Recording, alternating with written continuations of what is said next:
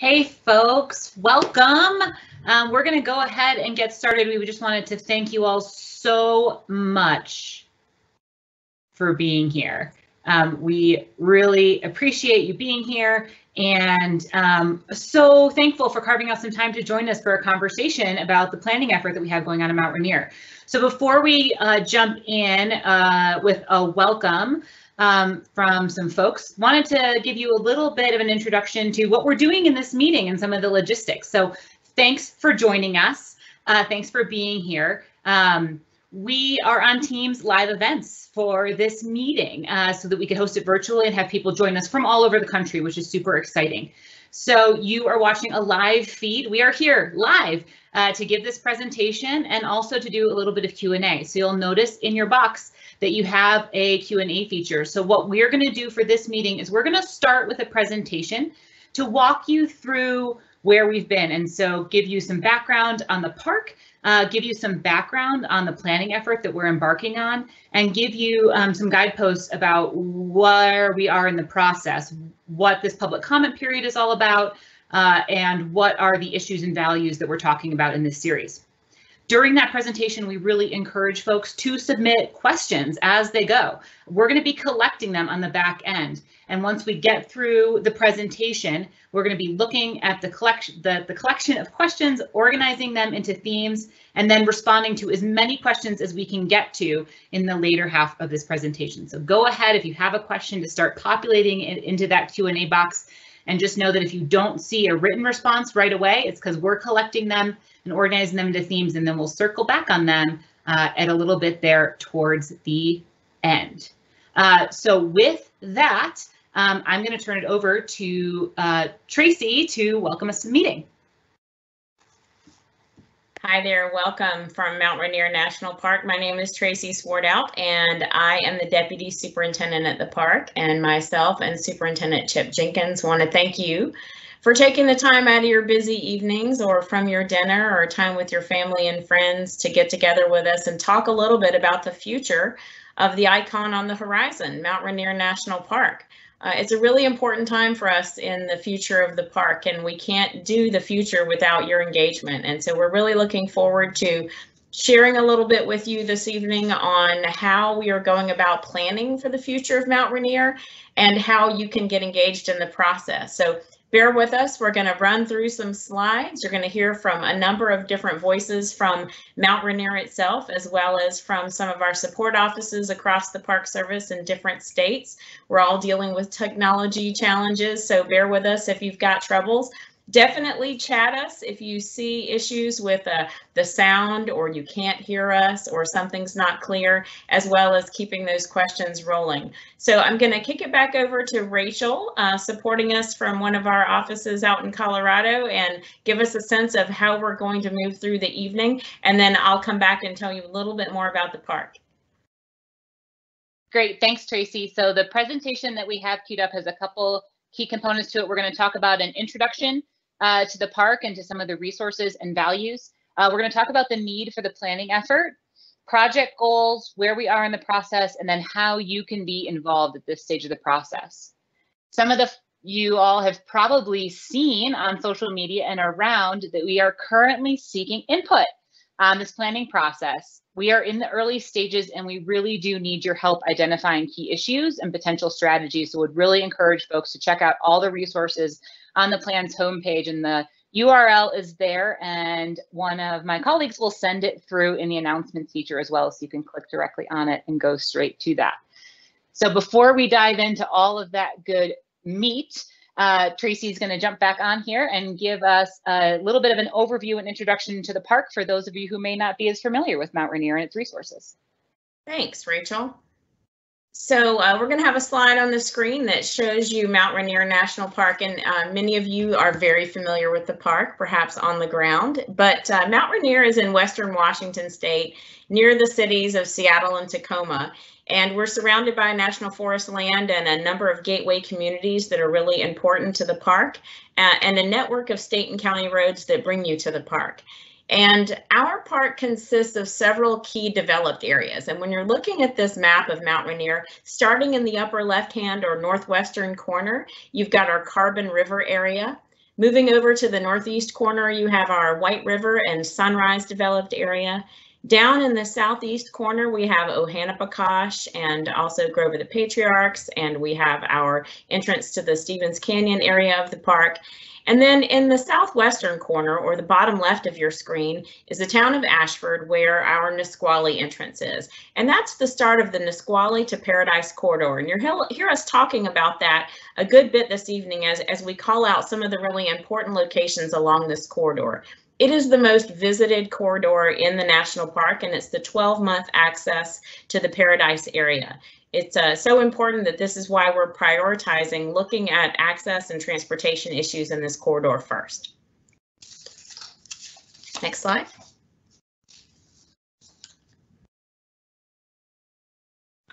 So before we dig too deep into the issues around transportation and congestion and planning, I want to talk a little bit about the unique role that Mount Rainier plays in this context of over 400 national park units around the country.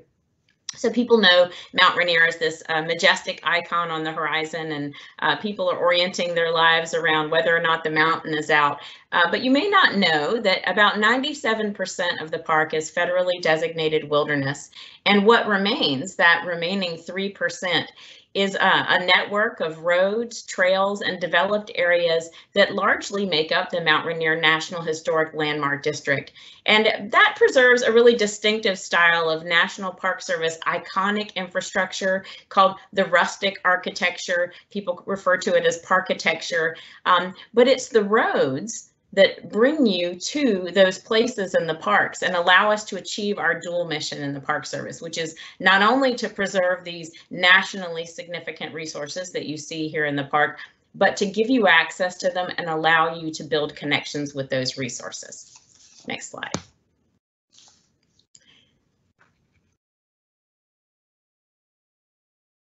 So when we start talking about um, planning and decision making for national parks, we really need to base everything on the question of what is it that we're actually managing for?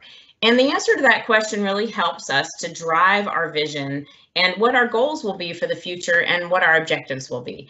And at Mount Rainier, we have something called our Park Significance Statement, and we also have our fundamental resources and values, and they provide for us some of that scaffolding for the planning work that we do in the future that guides how we manage everything in the park, from the day-to-day that you experience when you come and meet with a ranger or go on a trail, to the long-term planning for things like transportation and corridor management, which is why we're here today. Significant statements are those things that are really important resources and values that were so important to our country as a whole that it warranted setting aside the park as a national park for all future generations to enjoy as a special place. The fundamental resources and values, on the other hand, are things that contribute to that significance. They are these rare, unique, and exemplary values um, that we are charged with protecting here and preserving at Mount Rainier. So if you're interested in more, more information about these resources, the values, why they're important, and how they really form the underpinning of all the planning and decision making that we do uh, to provide you access and experience at Mount Rainier, take a look in the chat um, and we're going to drop a link there in the Q&A box on how you can get inf more information about that. Next slide. This planning effort, as we talked about, really focuses on the Nisqually corridor. So in the bottom left of your screen, you see the Nisqually entrance at Ashford. In the upper right, uh, that's the Paradise developed area. The road was really um, designed to exist in harmony with the natural environment that are protected inside the park. And it provides visitors this sort of teasing glance of the mountain as you make your way up with the big reveal happening at Paradise. But all along the way are these really important on their own locations and starting points for visitors to use as jumping off points to get out into the wilderness or to experience front country trails. And some of the locations are just destinations into themselves, like for example, the Longmire National Historic District. So all along this route, which is the most visited corridor in the national park, are opportunities for us to improve the experience and the resources that we're protecting. So we're going to talk a little bit more about that. Next slide. Surrounding the road corridor are these remarkable nationally significant resources. And as I mentioned, these vast areas of designated wilderness. It's really the heart of the park. Uh, but again, the roads help you get out into the park. And so this planning process is going to help us address issues related to the visitor experience throughout this corridor, starting outside the corridor with the information that you get and how you make decisions on uh, coming to the park and enjoying it, as well as that experience in the line, waiting to get in, coming through the entrance station, all the various places that you might stop along the way, and then get to your final destination, whatever that might be in the park. We have a really helpful story map that our folks have put together that you'll also see a link to in the Q&A uh, so that you can go through and explore some of this corridor on your own after this call. Uh, next, I'm going to pass it over to Rachel and talk about, so why do we need a plan right now and what are we seeking to achieve?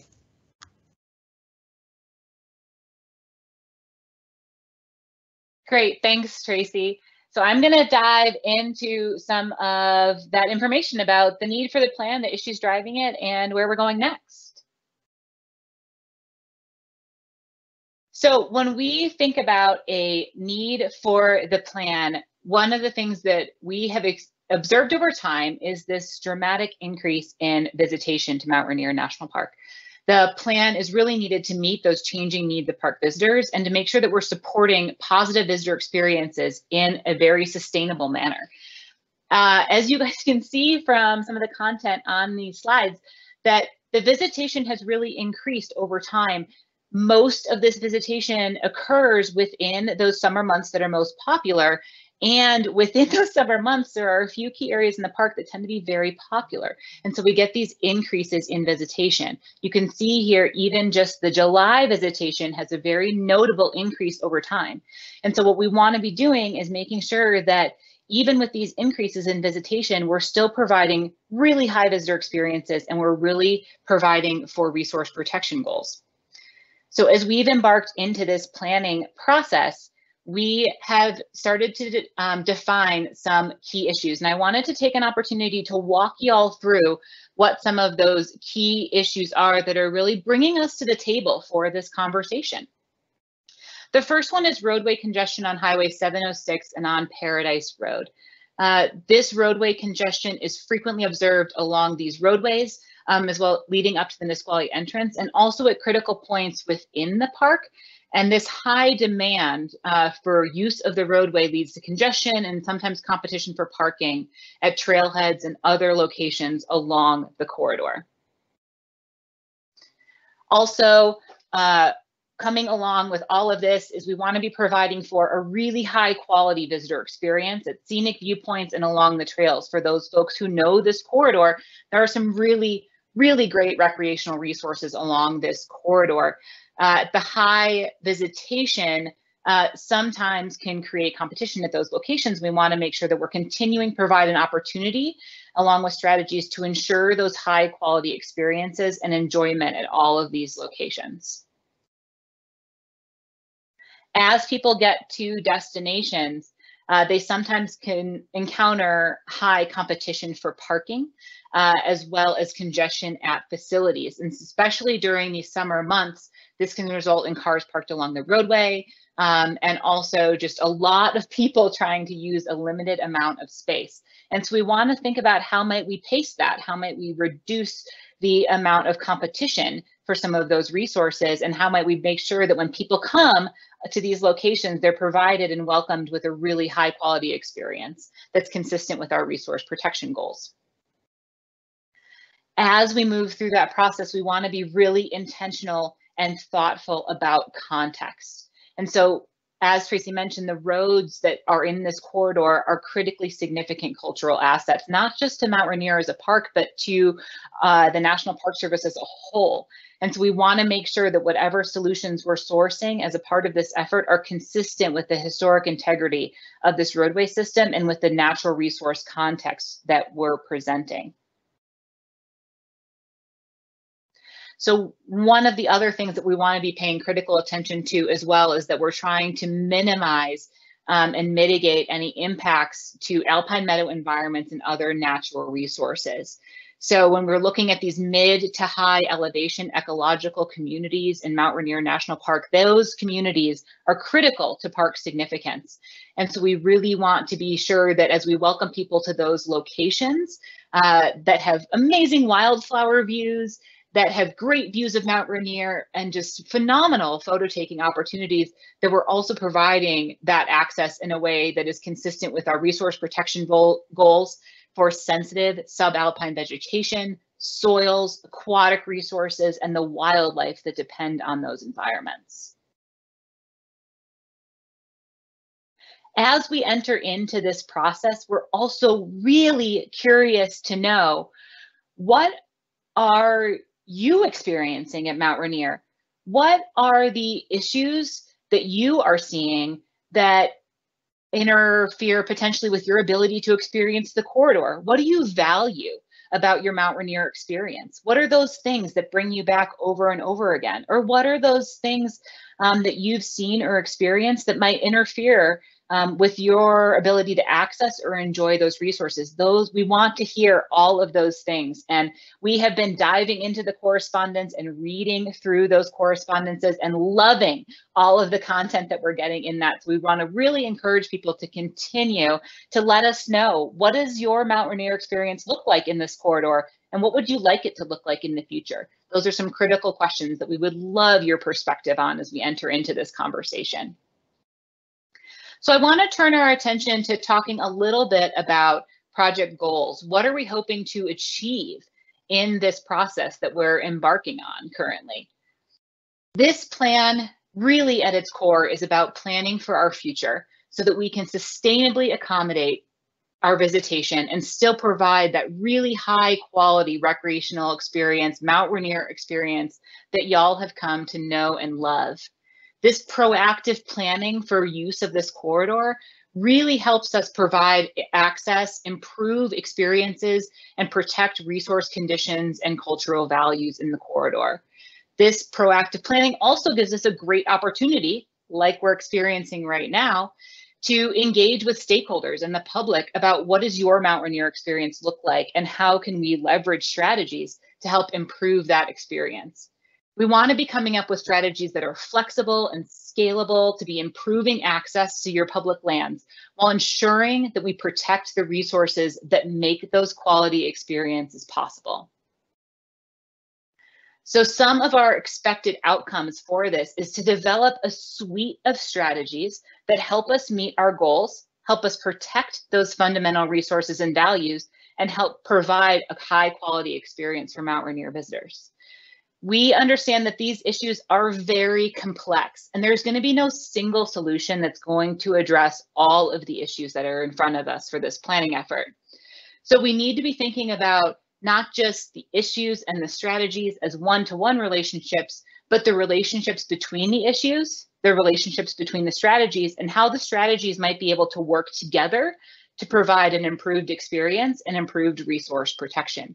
So again, it's coming up with what is that combination of strategies? What does that larger future vision look like to guide future management of Mount Rainier National Park in this corridor?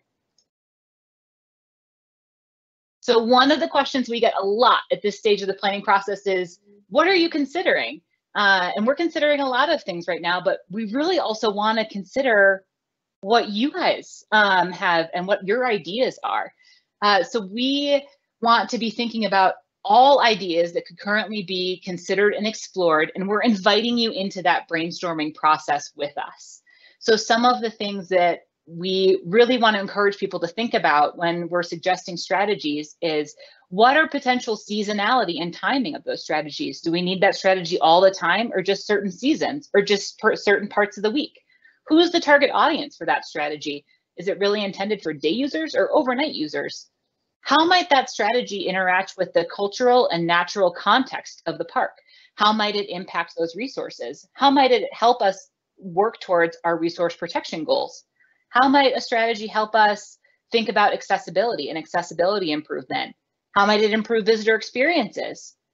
We also are thinking about how might those strategies interact with communities? And also how might strategies help us towards operational and financial sustainability? So we want to be thinking about where are those strategies going to interface on the ground and how do we make sure that we can sustain those strategies for the long term? So that gets us through what we've identified for as issues, where we're going with project goals, and then wanted to also let folks know where we are kind of in the big picture. So we said we're inviting folks into this process very early to talk about your Mount Rainier experience. What do you value in this corridor? What issues are you seeing?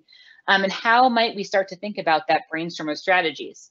Once we kind of get through that phase, we're going to take all of that information, distill it down, and start to explore solutions and really think about what strategies, concepts, combinations of strategies might work well together. Um, what might that future management frame look like? And then we're going to come back out to the public and say, here's some of the ideas we heard from you. Here's some additional ideas. We'd love some feedback on those strategies. Love some feedback on those ideas. And then we'll move into kind of the third phase of putting a plan together and working through the processes of looking at the bigger picture impacts of any of those specific strategies. So again, we're just at the very beginning of this process and are so excited to have so many people along to join us in these very early conversations as we start to envision the next steps uh, for this corridor. So with that, I'm going to turn it back over to Tracy uh, to have her give us a little bit of information about what your role is in this process right now that we're engaged in.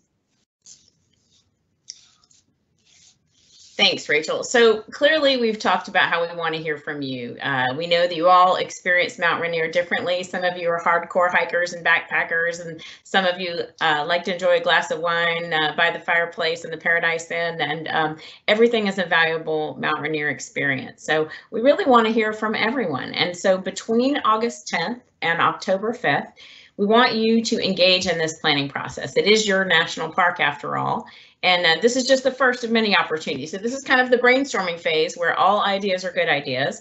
Then in later phases, we'll be putting back to you some strategies and asking you for feedback. So this is definitely not your last opportunity to get involved, but it's your earliest opportunity to get involved. The information that we gather from you through this planning process is going to inform our decision making and then our priority setting for how we invest your tax dollars, the public funds, uh, over the next decade at Mount Rainier.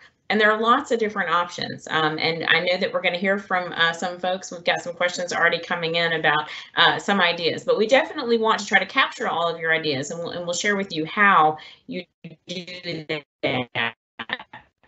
Uh, coming in.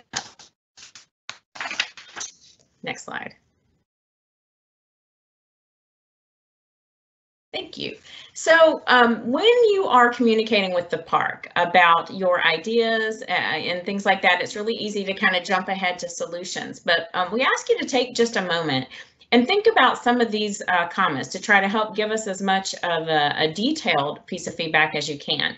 The first one is what are the experiences that you find most important? Kind of start with that. You know, how are these experiences really unique from other experiences that you have in the rest of the park versus the Nisqually corridor? Um, how these differ from Forest Service experiences or some other parks, state parks what are the kinds of experiences not only that you find most important, but what are the kinds of experiences that you hope, if you look 100 years in the future, that our future visitors and generations will have when they visit Mount Rainier? What are those just sort of quintessential Mount Rainier experiences and, and how do we provide those? The second issue we'd like you to think about is what are the things that interfere with your desired park experience? You know, we've already gotten a couple comments, people saying traffic interferes with it. Well, that's just one. There could be others. Um, and so we ask you to, when you're providing your feedback, make sure that you share with us what are the barriers to your desired park experience. Um, next, we want you to think about what are the strategies. This is like the creative part. I know everyone wants to go right there. What are the strategies that you want us to consider when we're brainstorming transportation and visitor experience solutions? Um, in, a, in a first look at the feedback, we know a lot of people are really passionate about shuttles, and we're going to ask you kind of to hone in on that. You know, who are they for? What is the season? All the things that Rachel was talking about. Is this something you see on the weekends? Are you talking about just a shuttle that would move people around from Cougar Rock to Paradise? Be really specific about um, what is the experience that you're trying to preserve? What are the things that are preventing you from having a good experience now? And then sort of what are the strategies that'll get us there? And then lastly, uh, we hope that you also share with us the things that we're doing that are working so that we can continue those. Um, we want to shore up the things that are working and maybe peel away some of the things that aren't working. And both of those are really valuable pieces of feedback that we can get from you. So we really want uh, to hear from you. So uh, I'd like to introduce Darby Robinson, one of our amazing uh, Rangers here that we have in the park. Take it away, Darby. Hello, thank you, Tracy. Thank you, Rachel, and thank you all for um, attending and asking your questions. So let's jump right in. Okay, our first question is educating the public, i.e., visitors, in outcome of this planning process, or is this process focusing on the corridor improvement only? As a volunteer at Mount Rainier, I find the visitors may not be very well informed. So maybe Rachel, do you want to take this one? Uh, yeah, I'll start by saying that educational strategies are absolutely part of the suite of strategies that I referenced earlier that we want to be considering in there about how might we go about improving education. But I also wanted to ask uh, Terry from the Interpretation Division to speak a little bit towards educational strategies as well. Great. Uh, thank you, Rachel, and thanks for that question. So my name is Terry Wilde. I work at the park in interpretation and visitor services. And so one of the main focuses of our operation is educating um, the visitors. That's not a specific outcome that we're looking for for this effort. We are looking for folks to, to maybe comment on their park visit and how what's important to them and, and how we can improve that element of things. However, we do always welcome um, more ways to communicate in general to anybody um, who would like to seek information on the park. So they can always provide us feedback through our uh, more information email, and we'll be happy to look at our operations and see how we can improve. Um, but this particular effort, we're focusing really on the transportation plan. Thank you. All right, excellent. Um, okay, so next question. How, this is going to be a question for Rachel. Uh, have other parks gone through a similar process, and are there lessons learned uh, from those that we can draw on here at Mount Rainier? Thanks, Darby. There absolutely are other parks who have gone through a similar process, and we are actively drawing on the lessons learned from those different processes and different experiences. This is one of the um, if I'm honest, one of the best parts of my job is getting to leverage some of those national best practices that we have, both from our agency and also from collaborating with other federal land management agencies. And then what we want to do is take those lessons learned, take those best practices, and apply them to the Mount Rainier context. We really want to make sure that every park is, we know that every park is unique. And so we want to make sure that the solutions that we're sourcing and the process we're doing is sensitive to that context um, and makes sense in that context because um, a solution that works really well at one park might not really work in the context of another park, but we want to be thinking about why that solution works and what are some of the underpinnings that might help us be successful in future efforts. And so there's a number of efforts that are like that that are completed and ongoing currently, and we're actively coordinating with those folks to make sure that we're pulling all the best lessons learned forward. Um, I'll just take a quick pause. Anyone else uh, from the park have thoughts on that question before we move on to the next one? Okay, Darby, I think we're good. Thanks. Let's move on to the next okay. question. Excellent. Um, we have a question for Tracy. Uh, have you considered and or is it feasible to increase staffing during the peak months? Um, yeah, so that's that's a kind of a popular question in this is, you know, thinking is there a, a, way to have other NPS staff come on for three months to help provide uh, people that component to mitigate the damage in the alpine environment, so seasonally? Yeah, thank you for that question. It's a really important one. I know a lot of people that you know they see the rangers out and they think, well, you should just get get some more of those folks in the flat hats and put them out there. Um, really important. So we have about 100 permanent employees at Mount Rainier, but we have up to 200, sometimes more than that, seasonal employees that join us. Some join us for the winter season to help out with visitor experience then, uh, and we have a lot. We more than double in size during the summer months. So we do actually bring on a pretty a pretty big seasonal workforce. Um, and you've seen many of them deployed out there at the entrance stations, uh, working in custodial work, performing projects for the park, uh, doing uh, walks and talks uh, this summer, being outside the visitor center. And then in addition to the paid staff and uh, both uh, permanent and seasonal employees that we have, the seasonals being mostly folks that we bring on in the summer, we also have a really healthy group of volunteers. And you may have seen Meadow Rovers out in the park.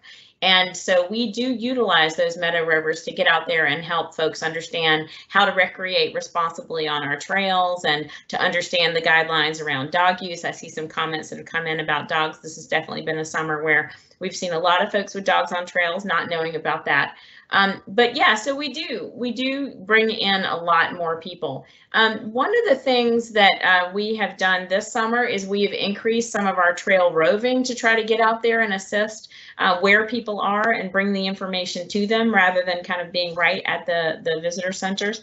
But you know, through this planning process, one of the great things that we can get from you is new ideas about how we deploy staffing um, and how we share information with the public about how they can visit in a way um, that will not take away from other people's visiting experience. And so we definitely encourage you, if you have ideas about seasonality of staffing, what kind of staffing, you know, is it you want to see people at the entrance gates or you, you'd like people to just tell folks which trail to get on, that sort of thing. And then tying it back to this idea of uh, traffic and congestion, and then kind of again appealing back to that what is the experience that you're really trying to promote with this use of staffing, because staffing is certainly a tool um, that we can utilize. So thanks for that question. Okay, so let's uh, let's keep it rolling. Um, have a couple questions about reopening certain areas or potentially ex expanding uh, access. So this is a question for our superintendents, Tracy or Chip. I uh, want to take this one. Are there any plans to reopen Carbon River and or West Side roads in order to decrease traffic on the Longmire to Paradise corridor, the Nisqually corridor? So what about Carbon River or West Side roads? So I'm interpreting this question um, a couple of different ways. One of which I'm interpreting this question is asking the question of, is it possible to meet the increasing levels of visitation by distributing people over a broader landscape? And I think that as part of this planning process, I think that's exactly one of the things that we are interested in exploring with folks. And I think we are interested in hearing from you, um, people who are interested in the park, of it is is that something that is a viable outcome? Is that something that's an interesting solution? And part of distributing one of the interesting things about Mount Rainier is is that you can experience Mount Rainier. You can get spectacular views of Mount Rainier, both from inside the park as well as from a much larger landscape outside the park. And so should it be something that we are pursuing is looking at create working with partners in other organizations, the Forest Service, private landowners, other organizations, um, to pursue um, uh, uh, tactics of helping to try to distribute people over uh, a broader landscape and what might that look like. So that's part of the, I think that's part of the question that's being asked. The other part is very direct about carbon is will people have access to carbon? First of all, yes, the Park Service is committed. We will continue to be maintaining access to the carbon area um, access to being able to drive to the current trailhead. And from there, we'll be maintaining trail access so that people can be able to um, hike into the park. But no, we are not looking at restoring vehicle access further into the park. Um, it simply is not financially or ecologically feasible given how dynamic the Carbon River is. It is a river whose stream bed is um, uh, uh, rising and we're going to continue to see increasing flooding and erosion there as time goes by. And it is just not financially or ecologically feasible in order to be able to um, maintain vehicle access further up the carbon. As far as West Side Road, that's a great question. And since the West Side Road connects with the Nisqually and Par uh, Paradise Road corridor, I think we're really interested to hear what people have to say um, about uh, um, currently we have access there on foot and uh, bike.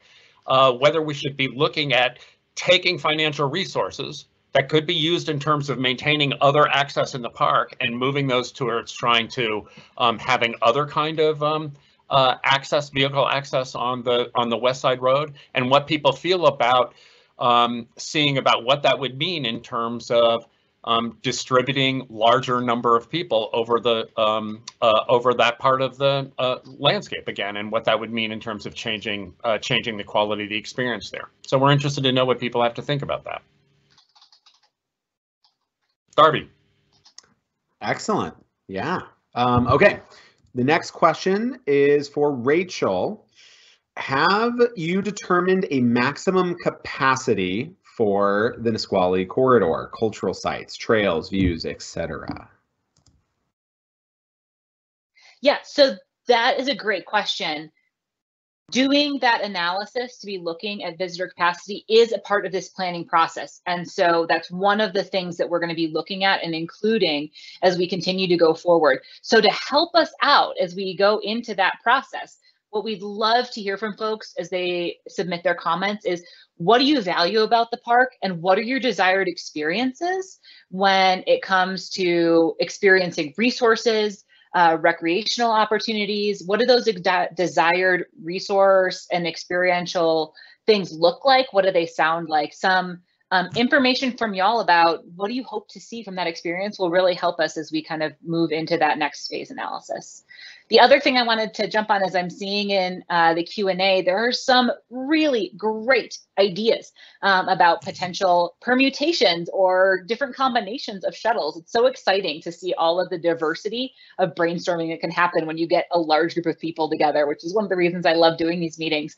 I would really encourage folks to think about some of those parameters that were on a previous slide about seasonality and ridership and um, timing and all those kinds of things and think about of your dream shuttle system, what would that look like? And go ahead and submit it to us on PEPC. Submit it through the comment portal and let us know what that looks like. Um, we'd love to hear all of those ideas. Um, and so we'll go ahead and drop that link to where you can submit comments into the Q&A box as well so folks don't have to go digging for it and it can be fresh right in front of you. Thank you. Excellent. Hey, hey Darby and uh, hey Darby. Mm-hmm. Uh, I just wanted to, to, piggyback on something that Rachel was saying there about shuttles. Um, Absolutely. And being um, even uh, uh, more direct in some of the questions. So I think um, uh, we do, uh, uh, people are suggesting, hey, we'd like to see a shuttle at Mount Rainier. So some things that I think we're really curious about when people suggest that. Um, so some things to some things building on Rachel is, are you suggesting that you would prefer to leave your car someplace outside the park and ride a shuttle in? Are you are you suggesting that you would prefer that all cars be banned from Mount Rainier and everybody has to ride in a shuttle, or do that seasonally? Are there um, are there as Rachel said, are there other permutations of that um, that you're that you're suggesting? Or another way of thinking about it, right, is what's kind of the problem you're trying to solve? Do do you believe that there are not um, that there's more capacity and that actually we could support more visitors at Paradise. So everybody should be allowed to drive in. And on top of that, we should also have shuttles bringing people in. Or are there um, other variations or permutations? We need to hear from you in terms of what you're thinking about that. Thanks, Darby. Yeah, absolutely. Thank you, Chip. Uh, okay, next question. Um, Tracy, if you'd like to take this one where is the funding coming from this for this project? And do you have an idea what your budget will be to implement proposals money questions. so, yeah the, the money questions. So uh, it's kind of a couple different things kind of getting my thoughts together here. So the first part is um, where did you get the money for this process? And um, so we do have federal appropriations that come in obviously to manage the park. And we also have federal appropriations that come in for projects like one-time initiatives to build something fix something and in some cases to do planning. And that's the case for this and that we receive project money uh, through a federal appropriation to support the planning work. And those um, those are competed nationally, and so this this project competed against other similar projects around the country, and it was really important. So it got prioritized and it got funded. When it comes to the funding of implementation of solutions, that's really interesting. I think um, we have funding for projects. It depends on what the project is and what the scale is, whether or not we can invest certain amounts of money in certain kinds of projects. And, you know, one of the things that a Chip mentioned was, you know, the West Side Road access. There is an amount of money that you can invest to do any number of things, any number of solutions, you know, whether it's widening roads or adding additional access points, all sorts of things. Um, the question then becomes, which is your priority action? So what we're anticipating is that coming out of this uh, set of um, planning exercises that we do and the resultant documents, we'll come up with a set of solutions that we can implement. We anticipate some of them will likely be shorter term implementation and some of them may be longer term. Um, and so we will then compete for funding as we do for every other kind of project in the park. A lot of times for projects like this, we're able to use the fee revenue that's generated from the entrance gates. Uh, you'll hear us refer to that as FLREA funding. It's the recreation funding that we get when visitors come and they, they pay their entrance fee. And so that kind of funding is something that we use not only for implementing transportation strategies that we might have, whether it is a shuttle or whether it's developing different kinds of ways to manage uh, congestion at our entrances or in our developed areas, or whether it's putting a new uh, roof on a building. So all of these are kind of coming out of some of the same pots of funding, but absolutely. Is there a separate bucket that's specifically for things that come out of this plan? No, but um, there's not really a separate bucket for any of the things that we do. So it's all a matter of prioritization um, of what are the things that we can try to tackle over the next few years, and then which are the things that we need to try to just make progress on longer term. But thanks for the question. The funding. Hey, Tracy, uh, can I can I Tracy, can I add on to that a little bit? Sure. Yeah, so um, um, some people are familiar with uh, transportation solutions that exist at other parks, like Acadia or Yosemite or Zion, right? Uh, Glacier. So in just about all of those examples, the funding, um, uh, there's funding for capital, like what does it cost to buy buses? And then there's funding for operations, how you pay drivers, how you put gas in, how you maintain it. Um, in almost all of those, um, the funding of those systems are done in partnership with local communities and states. And so it's actually the um, Park Service puts in some funding, um, as well as the states and the local communities put in funding, whether that is through their local transit occupancy tax or other revenue that's available to those local communities. And so I think it, it, depending upon the solutions or alternatives that we are looking at through this planning process, it may require all of us, including those of you that are participating in this uh, in this uh, uh, call, um, to work collaboratively in terms of trying to figure out the solutions in terms of what sustainable uh, sustainable implementation looks like, marrying up resources from many different sources. Thanks. Awesome. Thank you guys. Uh, let's let's stay with Tracy. Um, so we have a, some questions about other areas of the park potentially wanting to be addressed. So um, we have a question about why is Sunrise or White River access not as high demand from Seattle? It is faster to get there than to Nisqually. And in a similar vein, uh, another question is about basically could this could focus on one side actually increase demand and and uh, kind of um, congestion in an area like Sunrise, White River, or in Packwood? Yeah, these are really important. Uh, if you pick out one thing, you find it's connected to everything else. Um, clearly, we're managing um, visitation across the whole park.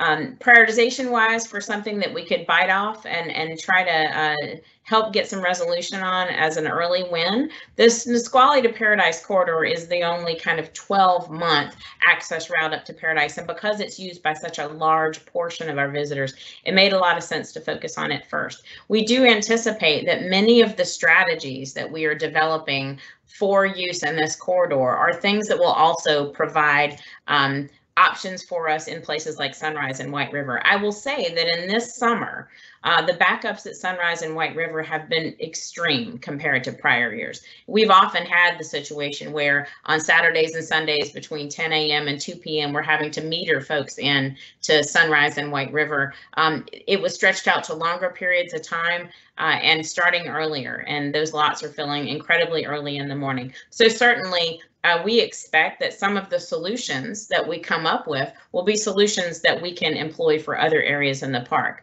Um, and there's kind of no end to the amount of things that we can look at as far as access in the park even though this is our, our big focus right now for trying to develop a set of solutions that the public is bringing to us and that we've evaluated in terms of whether or not they're going to work inside the park and be feasible and be something we can do, um, our eye is also always on access to every other area in the park. And Chip has talked about some of those uh, the West Side Road, ensuring that we continue biking and uh, foot access and, and maybe something expanded. And, and we're looking forward to getting your feedback on that. Carbon River Road, many people know that access there is a challenge because of flooding. And if you go up there right now, you encounter a giant hole in the road right outside of the park entrance, which kind of shows you the power of the Carbon River. Um, but uh, Sunrise and White River don't really have that. But what we have instead is uh, some access challenges on 410 and 123 that present longer term um, access uh, po possible barriers to access in the future. But we won't stop ourselves with this corridor, but this really is the most important corridor for us to focus on first. Um, and understanding that, you know, as we move forward, we will take in turn looking at some of the other corridors into the park. When you're talking about solutions that you bring to us, one of the things that we'd like you to think about and address if you can in your comments is how you anticipate those solutions will or will not have an impact on other entrances. Um, you know, we know some folks have suggested things like timed entry. Uh, well, timed entry, is that something that you'd want to see across the entire park? Uh, is that something that you see pushing people to other places? Um, if we required shuttles and didn't allow vehicles, what would that do to surrounding forest lands? Um, and so we're asking you to provide that kind of context when you're providing your suggestions.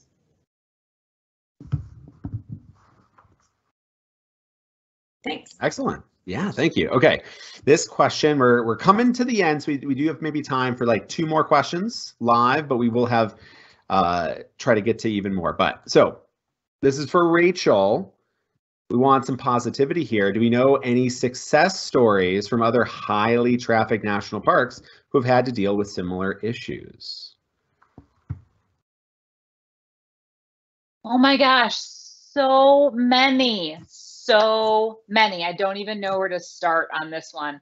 Um, but I think we've seen just a lot of folks service wide that have really said that by being proactive um, that's really put them in a good spot to be able to really understand changes over time. And so I think about um, that a lot of parks that have instituted monitoring programs where they say, this is what we're watching for. These are the kind of indicators of quality that we've established. Um, and this is how we know and communicating that is super effective.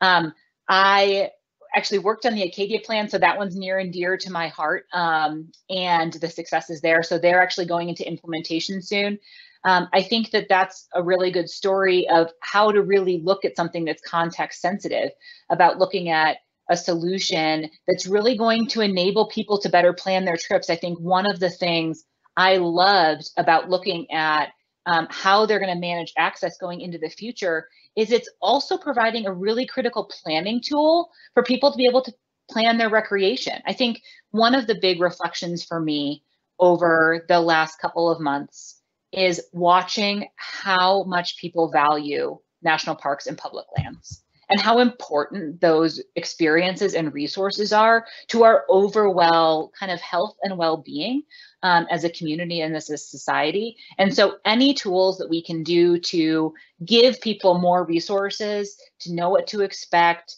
to plan for a high quality experience, um, to really engage in that in a meaningful way, whether they are from next door or five states over, I think is an awesome success story. And I would encourage folks to check out other plans um, on national park websites to to look at how they've implemented those things. I know that people would have loved a list of parks, but I just I, I can't pick favorites. It's too hard. And uh, Darby, I wanted to answer. I know some people have, you know, questions about what about prior planning uh, efforts in the park, and you know, didn't ha haven't you been talking about this for a long time? And it's true, absolutely. And you saw some of the stats earlier that we've had about a 30% increase in visitation in the last 10 to 12 years. It's 46%. You go a few years back and it's 50% increase. Um, and so a substantial increase um, in visitation and in patterns of visitation and in the focus times of that visitation since some of our earlier, for example, our general management plan. Um, but, you know, vehicle congestion has been an issue at Mount Rainier. You know, our, our curatorial staff will pull out pictures and show you, um, you know, as being one of the first parks to allow vehicles in, congestion is not a new thing for the park, but the level of congestion that we're having has really taken a, a big peak. We've known that this is an issue that we're going to need to bite off and chew, and now's the time for us to make some real progress on it. So we don't want people to be dissuaded by the fact that it's something that we have looked at in the past. Um, but we're hoping to inform it um, through this public process uh, between now and October 5th to get your ideas, to come up with a set of strategies that are things that we can uh, and in fact must implement to preserve both those resources that we're trying to preserve and that visitor experience that we're hoping to keep in a high quality. All righty. Thank you, everybody. We have time. We're going to have one more question uh, live and then we'll do a little wrap up. Um, so this question actually probably pretty important because I we've gotten so many good questions. It seems like everybody watching has been super active. So thank you. These are only as important as you are active. So thank you so much for that. So we have a question about uh, are we going to have another town hall or meeting that we can attend? And uh, how do we get a hold of folks that are are holding the meeting? So how will people find out about this? So uh, Chip, do you want to do you want to handle that? Uh, sure. Um, so uh, you, you you know we are. Um, it is absolutely critical that we continue to have your involvement as we move all the way uh, uh, through all of this. And so, um, just as we have done in terms of trying to set up this meeting, we will you should see um, similar things going forward, which is, uh, you know, we will have active social media posts. We'll be having stuff on our website. We will be um, having newsletters. We'll be handing stuff out in the uh, in the park. By the easiest, least level of effort way for you to be informed about what's going on is to um, track Mount Rainier on our social media accounts. Um, we make announcements on Twitter, Instagram, and Facebook routinely, and that we will continue to do. Um, does that cover it, right? Is that what you needed, or Rachel, anything else? Yeah, and we actually did have. I, I lied. There's actually going to be one other question for Rachel here, which but it ties to it. So it's one A, one B. That's it. I'm not. That's not a full lie, just a small fib. But for Rachel, re the phase two in the public review, is there a proposed date for this review? And so basically that next phase, what's what what can you tell us about that? So I we don't have um, hard dates for that next phase because it really depends on what we hear in this process. Because one of the things that we want to do is all of the brainstorming that y'all are going to do and share with us, and all of the input and the strategies. We want to take some time to put some meat around those, do some vetting with them, kind of roll out some of, like, think about what the context of some of those ideas might be before we come back. Um, so we give you something else to respond to, which is, um, I think, going to be super fruitful. So I would say, in uh, in addition to what Chim or what Chip said, we do want to keep things moving along. You'll always see stuff on the social media pages. Also, bookmark the planning um, homepage uh, I think Kelly's going to push that through as well. So you'll see that coming through from a moderator uh, about um, what all the planning updates that'll be coming there.